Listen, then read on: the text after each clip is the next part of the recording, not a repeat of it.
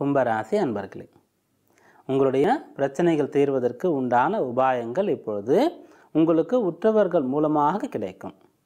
அதனால் இன்றைக்கு உங்களுக்கு கிடைக்கக்கூடிய ஆலோசனைகள் சொல்லப்படக்கூடிய அறிவுரைகளை இதை நீங்கள் ஏற்றுக்கொள்வது நல்லது. பொதுவாக உள்ளுணர்வை ஒருவர் மதித்தால் அவருக்கு பிரச்சனை ஏற்படாது அவருடைய பிரச்சனைகள் தீரும். அதாவது உள்ளுணர்வை மதிக்க வேண்டும் என்று சொல்லும் பொழுது இந்த காரியத்தை செய்தால் பலன் இருக்குமா என்ற சந்தேகம் வந்தாலோ ஏதாவது சிறிய சிறிய தடைகள் வந்தாலோ அந்த காரியத்தை ஒத்தி போட வேண்டியது அவசியம். அல்லது இதை செய்தால் நமக்கு நன்றாக இருக்கும் என்று தோன்றினாலோ நல்ல சகுனங்கள் தென்பட்டாலோ அந்த காரியங்களை செய்யலாம். இப்படி உள்ளுணர்வு சகுனம் இதை நாம் மதிக்கும் பொழுது பிரச்சனைகளிலிருந்து காக்கப்படுவோம். நல்ல விஷயங்கள் நமக்கு கிடைக்கும்.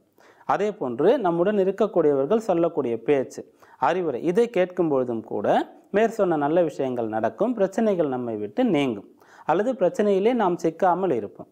அப்படியாக இன்றைக்கு நீங்கள் உங்களுடைய உள்ளுணர்வை கவனிக்க வேண்டும் பெரியவர்களுடைய அறிவுரையை ஏற்று நடக்க வேண்டும். இதை செய்தால் போதுமானது. இந்த நாள் உங்களுக்கு பயனுள்ள நாளாகவே இருக்கும். இன்று நீங்கள் வழிபட வேண்டிய தெய்வம் ஆஞ்சநேய சுவாமி.